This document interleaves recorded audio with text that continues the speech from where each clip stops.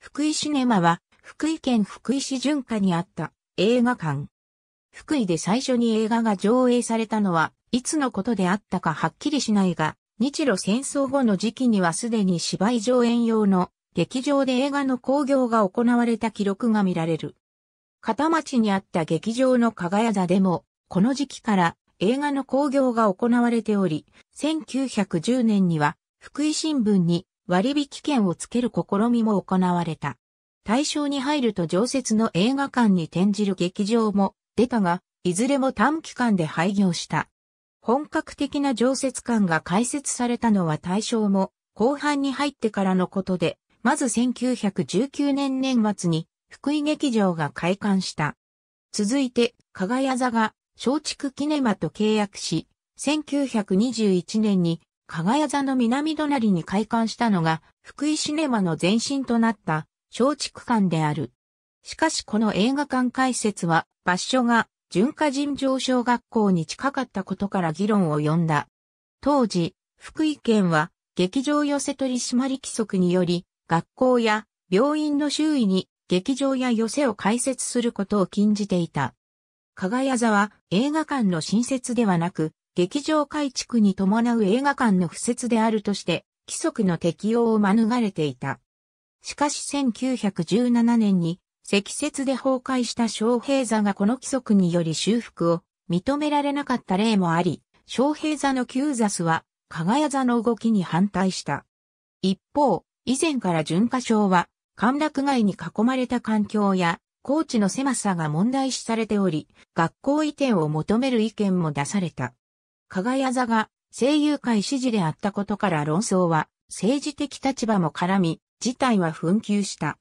結局市は学校移転の費用が出せず、県が劇場寄せ取締規則を改正することによりこの問題の解決を図った。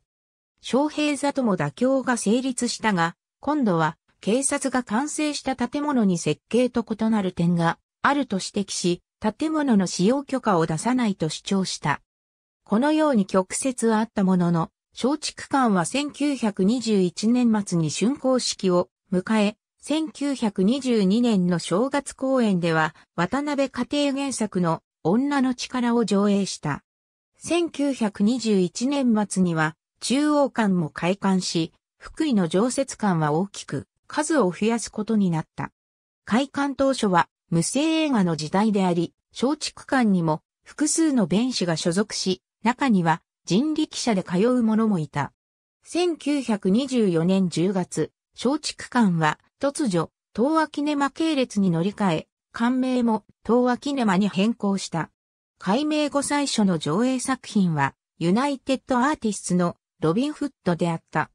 この時代に上映した影帽子は、バンド妻三郎出演作としては、福井で初の上映となった。1925年11月松竹館に戻った。この頃は日本映画の上映が主であったが、少年、ロビンソン、忍術キートンといった洋画も上映していた。1931年、前年まで福井劇場が担当していた日活の映画をこの年から上映することになり、館名も日活館と改めた。市内には前年の1930年11月に新たに松竹座が開館し、常設館の競争が激化していた。新興の松竹座がインテリ階級を集めたのに対し、日活館には比較的低級な階級が集まった。この時期は闘技が普及を始めた時期で、福井でも1929年7月に、加賀屋座で陶器工業が行われた。こうした状況を背景に、弁士削減を図る館主と従業員の衝突が福井の各館で見られるようになり、1931年10月には日活館でも弁士の解雇をめぐる葬儀が起きた。葬儀の中、11月には、松竹座では、国産初の陶器作品、マダムと女房が上映され、徐々に陶器転換が進んだ。1931年12月には、激化する競争に耐えかねた常設4巻が、福井映画業組合を組織して、料金や演目の調整を図ることになった。この措置の一環で、日活館は大衆館と解消、日活映画の上映をやめることになった。日活館改め大衆館は、1936年に安倍九州男ら、角幸三郎、嵐勘十郎、水島道太郎らの作品に、ランドルフ・スコットや漫画なども加えた9本立てで興行を行った。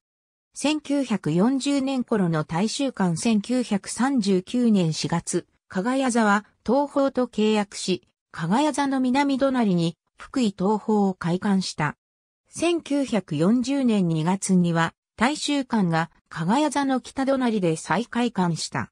加賀谷座も映画上映を行うことがあり、1940年末には一部を一席に改造した。こうしてこの一角に映画上映施設が立ち並ぶ状況となったが、その後戦争の激化に伴い統制が強まり、決戦非常措置要項の実施に伴い大衆館は1945年2月に休館となった。さらに1945年7月の福井空襲で市内の映画館は全滅した。戦後、1946年2月に再開館し、この年には運営会社として加賀産業が設立された。福井東宝も再開館したが、加賀屋座は再開されず、跡地は国際劇場という別の映画館となった。1947年には大衆館が本町通りに移転した。1948年6月の福井地震で建物は全焼、多数の死傷者を出した。当日大衆館にいた人物の回想によれば、地震発生とともに建物は南の方に向かって倒れ、落下してきた梁に打たれた客は死亡、他の客は破れ目から脱出したという。震災後、大衆館は1948年11月に再開館し、片町に残っていた東宝も1949年8月に大衆館の北側で再建された。